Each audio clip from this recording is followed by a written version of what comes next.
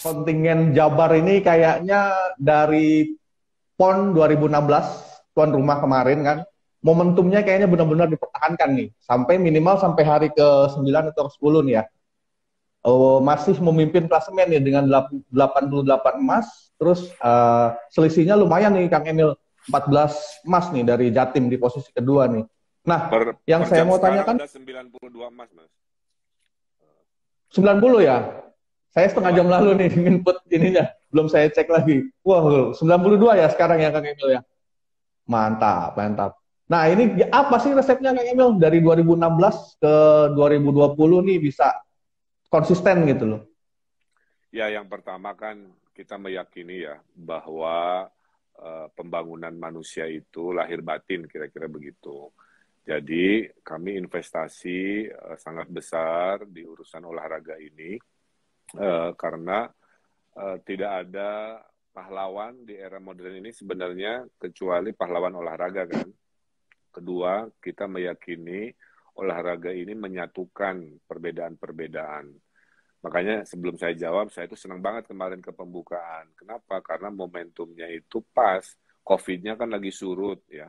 Yeah. Bayangkan kalau dipaksakan tahun lalu, saya mau pergi juga nggak enak hati kan. Kasus COVID pasti lagi tinggi-tingginya. Sekarang uh, rumah sakit aja kita tinggal 4 persen dari 90-an persen dan lain-lain. Jadi itu. Kedua pembukaannya juga bagus, momentumnya Papua juga masyarakat saya lihat langsung mendukung ramah-ramah orangnya dan sebagainya. Jadi secara mood uh, PON ini pas banget lah skenario Tuhan ya. Nah yang kedua Eh, kita walaupun terkendala tidak jadi tahun lalu, Jawa Barat itu selama COVID atletnya berlatih dan kita fasilitasi mm -hmm. secara maksimal. Bahkan dulu, yeah. Kang, kalau jadi tahun 2020 tidak ada COVID, itu tim Jabar itu kami kirim training di Korea, ya. Jadi oh. kita uh, secanggih itulah uh, menyiapkan SDM kita di bidang olahraga, ingin belajar sport science istilahnya. Jadi uh, bukan sekadar keren-kerenan berprestasi, tapi kita gunakan keilmiahan. Saya terinspirasi dari, dari delegasinya Tiongkok ya. Uh, mereka itu dilatihnya di Kunming. Di Kunming itu ada daerah tinggi yang oksigennya rendah. Nah, kalau mereka bisa berprestasi di oksigen rendah, pasti mereka berprestasi di saat normal. Nah, hal-hal ilmiah beginilah yang uh, kita terapkan. Kedua, training center, uh, pendidikan dari awal itu juga kita terapkan.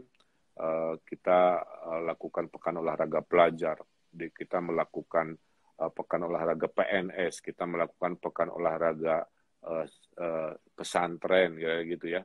Jadi level-level skala uh, apa kecilnya juga kita konsistenkan.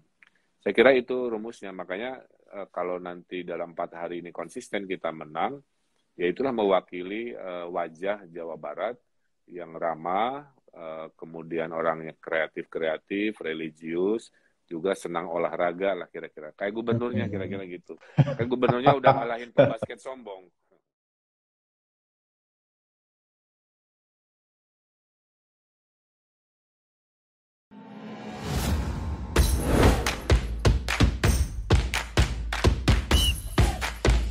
Ayam kalau diaduk-aduk jadi cair. Seriously? Diaduk kayaknya ya.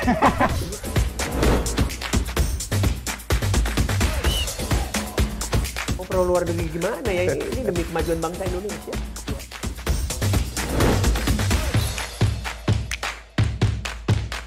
Isu kebangkitan uh, PKI ini uh, dihentikan.